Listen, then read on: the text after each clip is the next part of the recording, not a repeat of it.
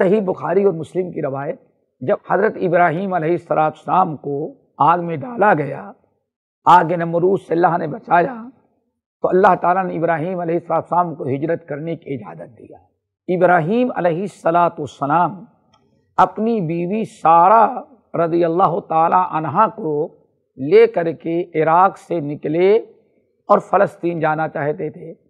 रास्ते में मिस्र की बॉर्डर पड़ती थी मिस्र को करास करने के बाद ही फ़लस्तीन में दाखिल हो सकते थे। इब्राहिम खलील्ला अपनी बीवी हज़रत हाजरा सलाम को ले करके गुजर रहे थे। तो उस वक्त का जो मिस्र का बादशाह था, फिरौन, मिस्र के जो बादशाह होते थे, उनका लकब होता था फिरौन। तो उस वक्त का जो फिरौन था उसने ये कानून पास कर रखा था, अपना एक मिजाज बना रखा था, बड़ा शैतान था, कि उसके हदूद से कोई खूबसूरत औरत अगर गुजरती थी तो वो जालिम उस औरत को छीन लेता था, अपनी हविस पूरी करता और उसके साथ जो है उसको मार पीट के भगा देता था। लेकिन अगर भाई के साथ बहन है तो इतना रियायत करता था, जा तू अपने भाई के साथ उसको छोड़ देता था। इब्राहिम अलैहिस्सलाम जब मिस्र के हदूद में दाखिल हुए तो मिस फिरौनी जो पुलिस थी, उसने इब्राहिम अलैहिस्सलाम के साथ हज़रत सारा को देखा। हज़रत सारा अलैहिस्सलाम बहुत खूबसूरत थी। लोगों ने नकल किया, हज़रत सारा का नाम सारा इसलिए रखा ही गया कि जब वो पैदा हुई तो इतनी खूबसूरत थी कि जो भी देखता उसका दिल खुश हो जाता। इसीलिए उनका नाम सारा रख दिया गया, यानी खुश कर देने वाली बच्ची। फिर उनकी पुलिस ने जाके बताया कि आका, एक मर्द उसके साथ एक बड़ी खूबसूरत औरत जा रही है। फिर ने कहा, पहले उस मर्द को पकड़ लाओ। पुलिस आई और इब्राहिम अलैहिस्सलाम को पकड़ के फिर के पास ले गई। देखिए किस कदर नमाज़ की बरकत जरा देखें। फिर के पास पुलिस लेके गई। हज़रत सारा दूर दराज, एक हदूद में मिस्र के अकेली बैठे हैं और उन इब्राहिम खलील्ला को लेके चला गया। फिर के दरबार में इब्राहिम खलील्ला पहुँचे तो पूछा, इब्राहिम, तुम्हारे साथ कौन है? इब्राहिम खलील्ला ने कहा, उखती वो मेरी बहन है। इब्राहिम खलील्ला को मालूम था कि फ़िरौन को अगर कह दिया जाए कि हमारे साथ हमारी बहन है तो उस औरत से छेड़खानी नहीं करता, औरत को छोड़ देता है। इब्राहिम खलील्ला ने कहा, वो मेरी बहन है। फिर ने पुलिस से कहा, इस मर्द को ले जा करके छोड़ो और उस औरत को लेकर क्या उससे पूछते हैं। इब्राहिम खलील्ला ने आने के बाद पुलिस जब सारा को लेके जाने लगी तो इब्राहिम अलैहिस्सलाम फरमाया, सारा देखो फिर ओन ने हमसे पूछा कि तुम्हारे साथ कौन है तो मैंने तुमको अपनी बहन बताया कि तुम मेरी बहन हो। और तुम जानती हो कि हम मियाँ बीवी हैं, लेकिन दीनी एतबार से हम दोनों भाई बहन हैं। इन नमल मिनू इखवा, सारे मुसलमान आपस में भाई भाई होते हैं। तो दीनी एतबार से, दीनी रिश्ता जो है, हम दोनों बहन भाई हैं। हैं मियाँ बीवी, लेकिन दीनी एतबार से बहन भाई हैं तो मैंने तुमको अपना बहन बताया है। फिर औन तुमसे पूछे तो नहीं कहते ना मैं बीवी हूँ, बता देना कि मैं उसकी बहन हूँ। ताकि तुम्हारी इज़्ज़त इफ़त जान बच जाए। इब्राहिम अलैहिस्सलाम ने सारा को रवाना किया। हज़रत सारा गई।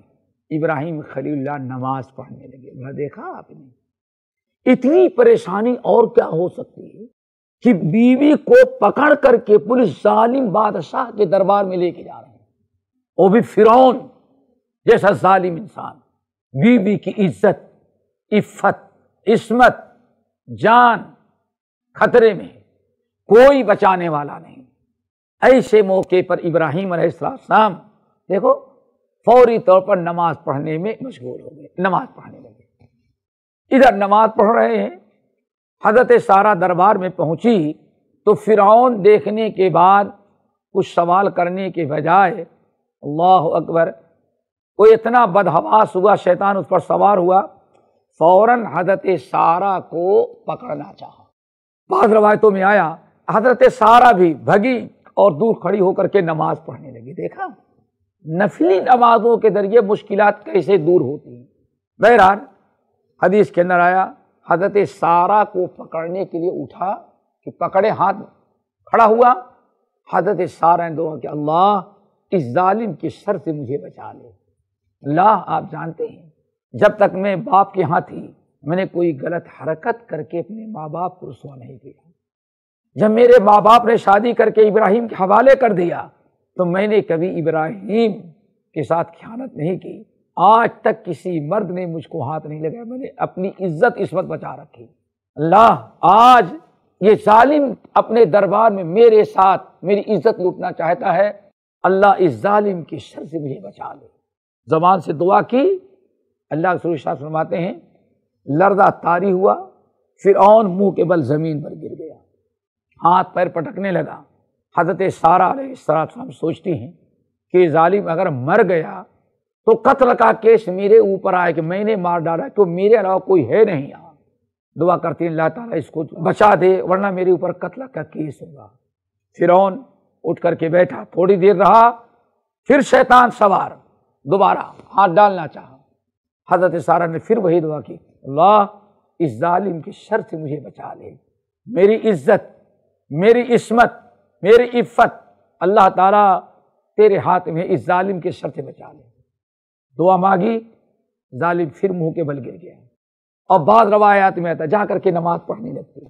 अल्लाह ताला मुझे इसकी जालिम के शर से बचा बचाना तीन मरतबा उसने हाथ डालना चाहा और तीनों मरतबा जालिम हज़रत सारा साम बदुआ करती, मुँह के बल गिर जाता। हज़रत सारा क्या कहती? ये इधर याद रखने के लायक है। अल्लाह, मैंने अपनी इज़्ज़त कभी गंवाई नहीं। शादी के पहले माँ बाप के यहाँ रही, जब भी मैंने अपनी इज़्ज़त की हिफाजत की। शादी के बाद भी मैंने अपनी इज़्ज़त की हिफाजत की। आज ये जालिम मेरी इज़्ज़त लूटना चाहता है अपने महल में। जरा सोचे, अगर औरत हमेशा अपनी इज़्ज़त इफ़त खुद बचाए तो अल्लाह ताला मुश्किलात में भी उसकी इज़्ज़त और इसमत बचा लेते हैं। लेकिन आज जब हमारी माएँ और बहनें अपनी इज़्ज़त खुश नहीं बताना चाहती तो मुश्किल में घिरती जाती हैं। तीन मरतबा हदत सारा को पकड़ना चाहा, लेकिन मुँह के बल गिर जाता। तंग आ गया तो उसने पुलिस को बुलाया और डाटा, कहा, जालिमो, हम औरत मंगाए थे जिन्नियाँ मंगाए थे तो जिन्नियाँ है? अल्लाह अकबर। हज़रत सारा को उसने जिन समझा जिन्नियाँ ये तो हमारी जान ले ली, भगाओ इसको, ले जाओ जल्दी। अल्लाह अकबर नमाज़ की बरकत दोस्त। आज हमने इन चीज़ों को छोड़ दिया। इब्राहिम खलील्लाह उधर अकेले नमाज़ पढ़ रहे हैं, रो रो करके दवाएँ कर रहे हैं, अल्लाह सारा की इज़्ज़त बचाना अल्लाह ना मेरे पास फौज है, न कुत है, न ताकत है कि फिर जैसे बादशाह का मुकाबला करें। मेरी बीवी उसके महल में है। अल्लाह ताला उसको बचा। उधर नमाज़ में मशगूल, इधर हज़रत सारा दुआ करती।